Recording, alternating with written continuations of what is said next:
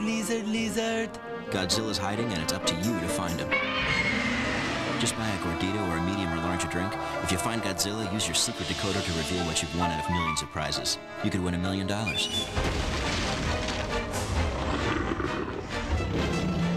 Uh-oh. I think I need a bigger box.